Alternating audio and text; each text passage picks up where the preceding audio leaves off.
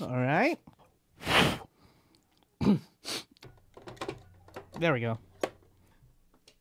Hey everyone. Welcome to another Webflow community live stream. I'm your host Nelson. Thank you for joining me today. Because I wanted to celebrate the movie, we're going to recreate the original Super Mario Brothers start screen in Webflow. Let's do this. Let's break it down. All right, so I have the start screen here, and I'm just going to use basic uh, rectangles to highlight how I break this down visually into boxes and rows and columns. All right, so my first thought is the whole canvas, I feel like, needs to be Flexbox, right? So my first box or my first div would be the whole thing.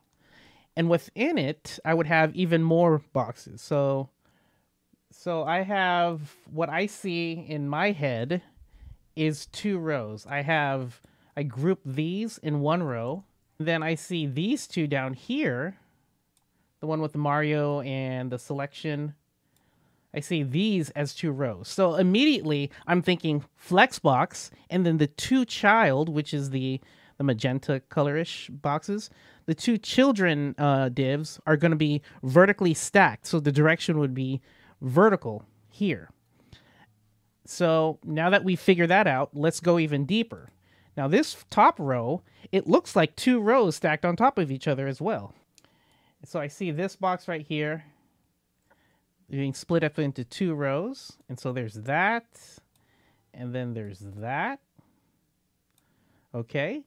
And now we're going to go even deeper. And then this right here, I see it's four columns because they're all in one row. So I have this part of the UI, this part of the UI, this. So that's two, three, and four. So that means this would be a flex box with the default direction of horizontal. All right. And now we go over here to this next row. And what I see is two rows again. So this first one and then the one with the text down here. Now that we have all that, let's go down here. Let's look at this now. Let's see here. I see I see two rows. So one here and one down here for Mario and the bricks. So we can say something like this. And inside of those, I have even more boxes. And so this is a row right here. I can see this as a row. And I can see this top score indicator being its own row as well. Go one more deeper because this, it looks like two rows, right? Two rows and two columns. And we have that row and that row. So two rows, and then within there we have two columns. But you you get the gist, right? And then lastly, let's get Mario here. So this row can be separated into two rows. So this first row right here that holds Mario, and then the last row that holds the bottom bricks. All right? So this is what goes through my mind. I don't actually like make boxes on the designs. I just start at the top of any Figma design or any design that's given to me from a client, and I'm like, okay, where are the boxes? How am I going to lay out the boxes? Next, we're going to go into building the start screen. Let's begin. So again, we're using this as our visual guide on what boxes or what divs to put in. So our first one, we have the full thing, the full screen. So I'm going to go Command E, type in div, enter. There we go.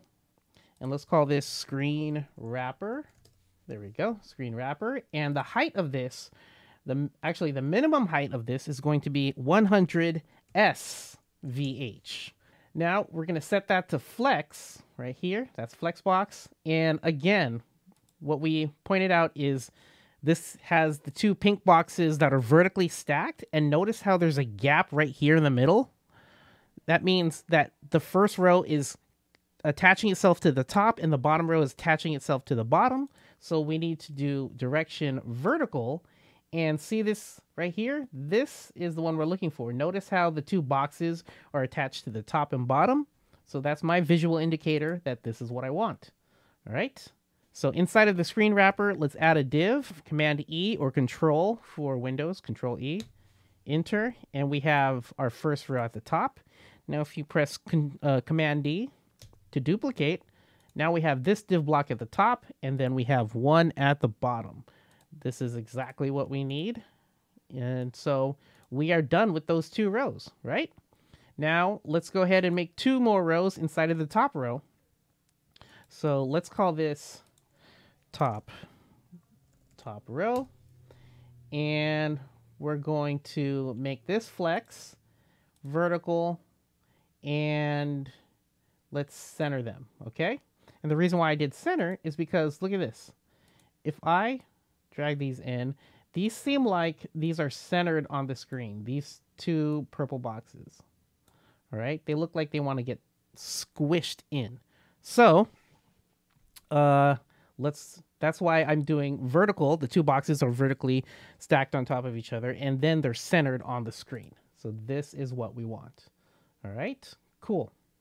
Let's go ahead and put in another div and see how it squishes to the center. That's what we want.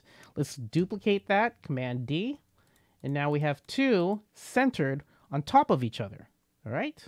Now that we've done those, let's do these uh, part of the UI. Okay.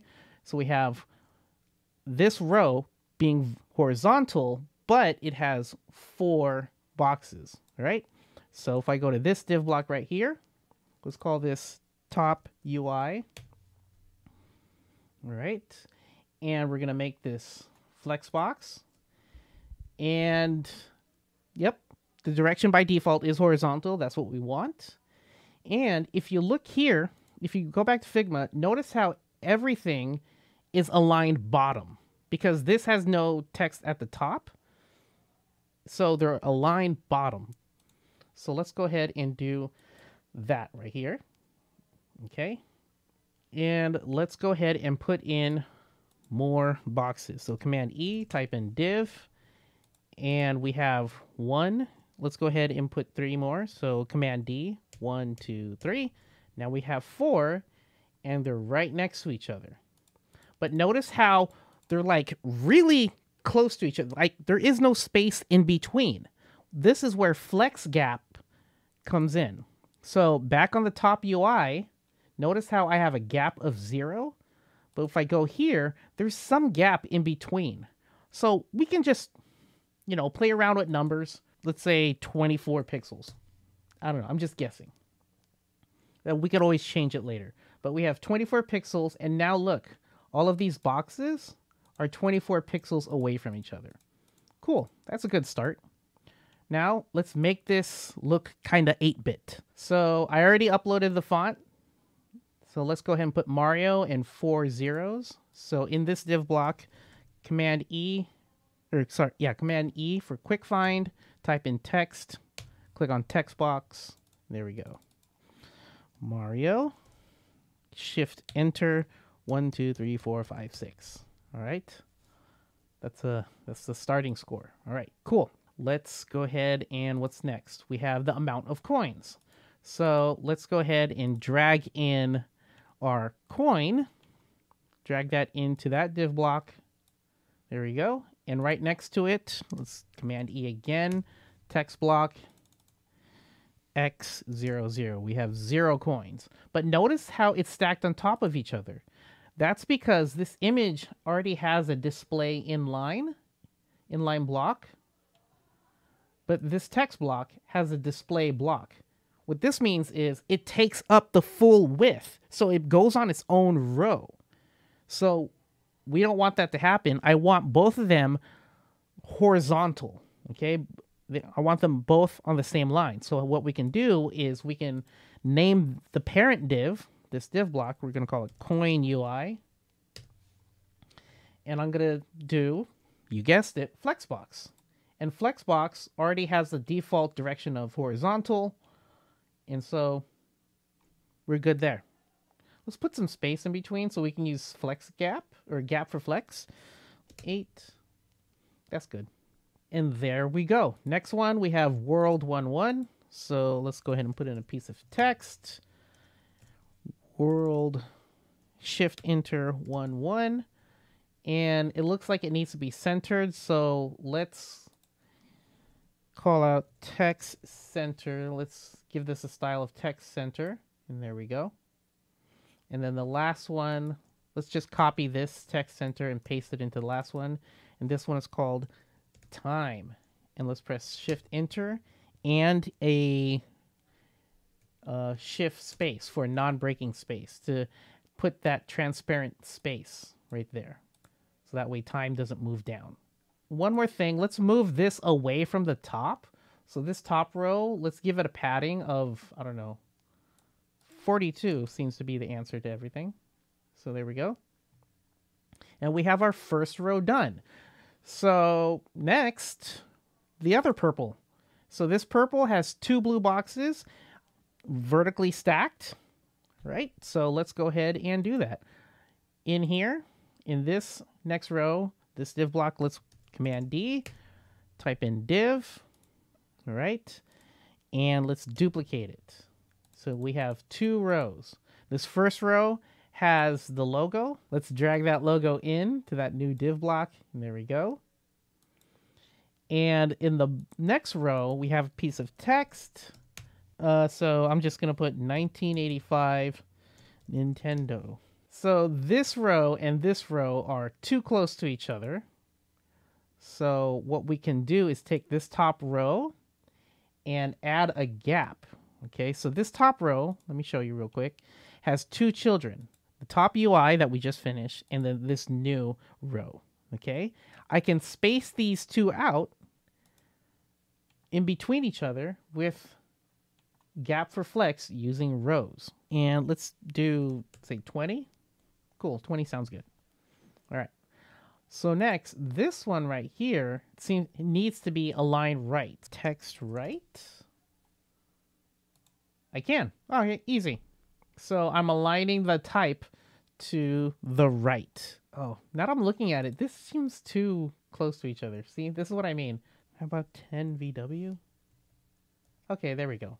So what I did for the gap, I'm using the viewport width, the width of the viewport, to give me a percentage. In that way, this could be responsive. The gap in between each UI at the top. Okay. I think we're done. Oh, wait. These two, let me color it brown. Text brown.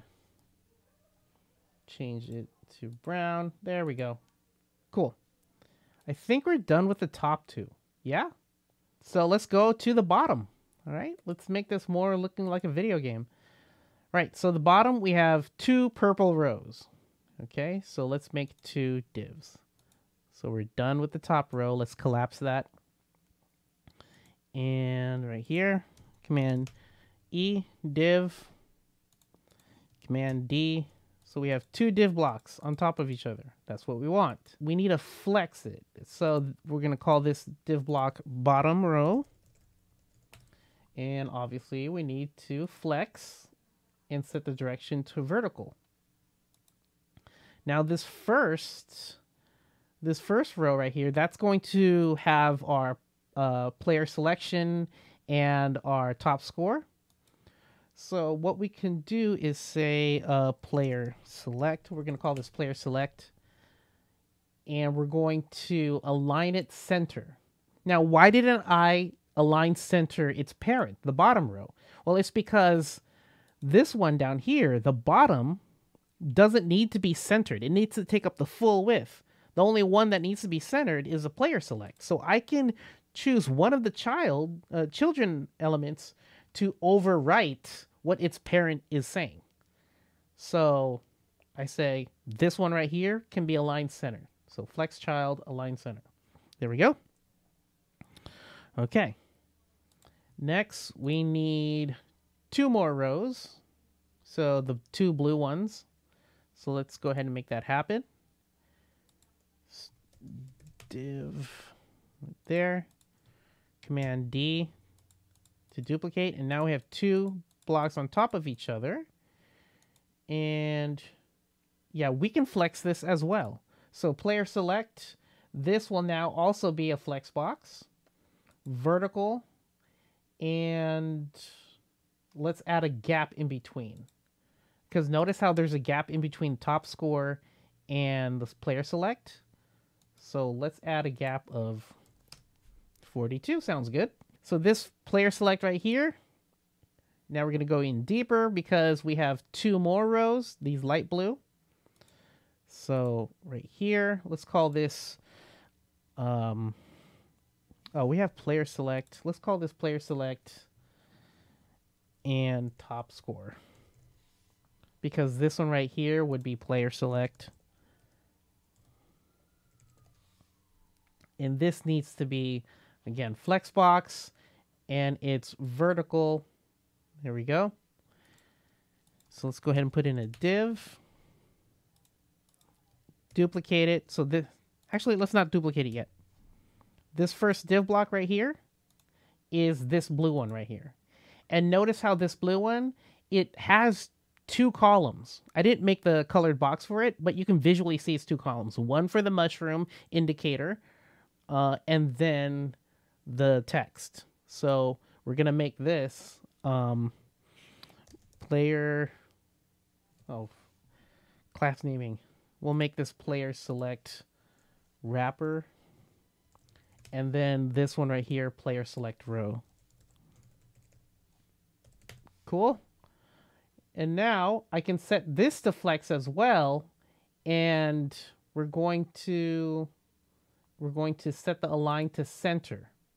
Right? The reason why is because I want the mushroom and the text to be vertically aligned center to each other. So let me show you how. Let's go ahead and put in a div.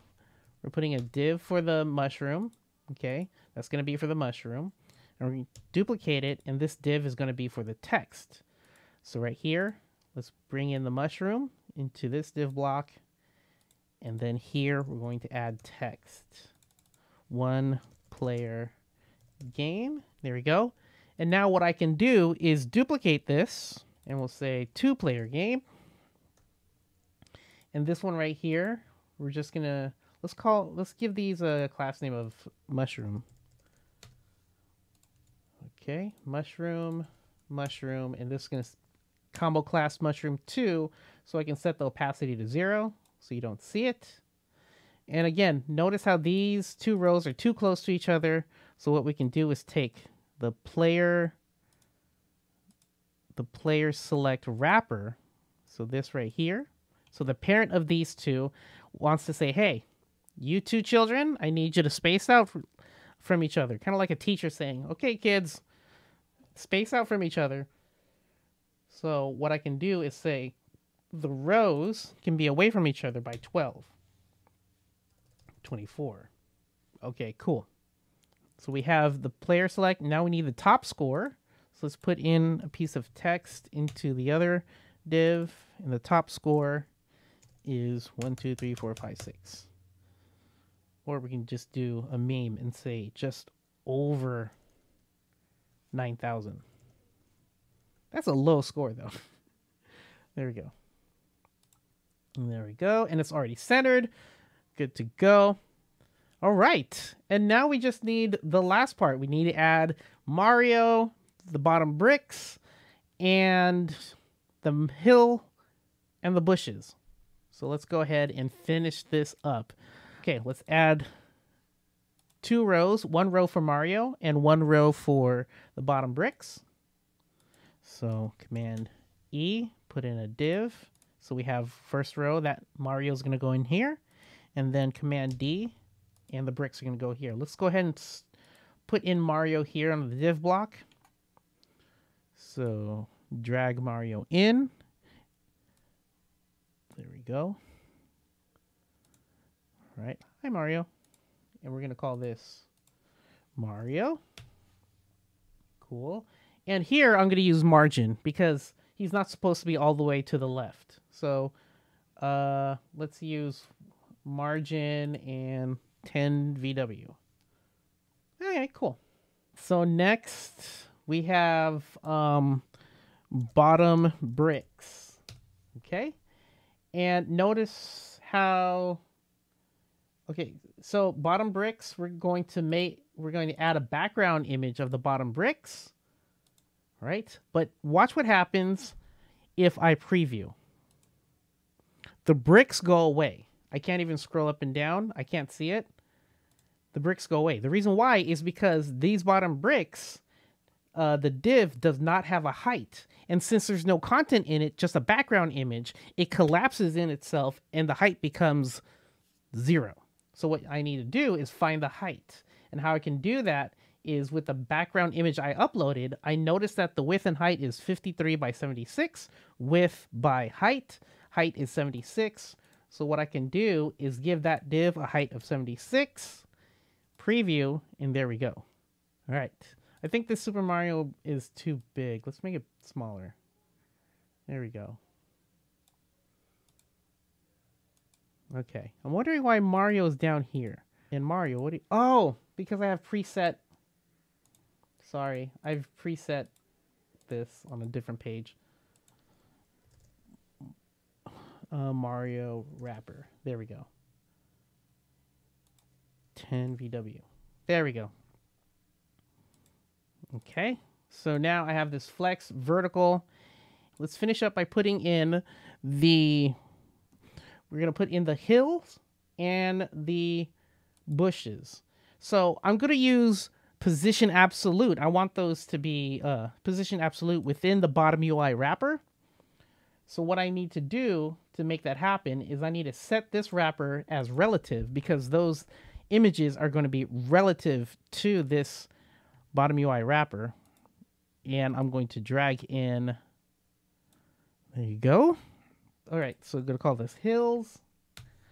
And let's set this to absolute. And we know that the bottom height is 76. So let's give this, let's put this on the bottom left and say 76 pixels from the bottom. There is a tiny, tiny gap. You can see Mario's little feet there. So let's push this down to like 74. Yeah, 74 is good. Cool. And notice how Mario is hiding. He's hiding in the behind. We want to put him on top. So let's use position relative to unlock our Z index and make sure that he's on the top. All right, so we're using Z index 10. And for this right here, the player top score, let's make sure that it, it also doesn't hide behind the hills. So we're going to do position relative and give it a Z index of 2. 2 is smaller than 10, so that way Mario can run on top of this if the screen is too short. Um, yeah, so next, the last part is the bushes. And did you know the bushes use the same sprite as the clouds? It's just that the the original developers made the clouds white and the bushes green. So they save space on cartridge memory by using the same sprite, two different colors. All right. So let's call this bushes. And we're going to do the same thing that we did for the hills. We're going to do position absolute bottom right. From the bottom, we're going to say 74 pixels. There we go. Let's push it away a bit. There we go, away from the right. And look at that. We got ourselves a Mario screen. Um, that was a fun build. Uh, the stream happened every 10 a.m. Pacific time on Wednesdays. Don't forget to subscribe to this YouTube channel. And if you like this stream, click on the like button. Thank you all so much. If you are watching in the live stream or watching a recording of this, I appreciate each and every one of you. Thank you all so much. Again, my name is Nelson Abalos Jr., not Mario. And uh, it's been a blast. And have a good day. And oh, yeah. And don't forget, make the web beautiful together. See ya. Or should I say, wahoo? I should go. I should go down now, huh? Bye.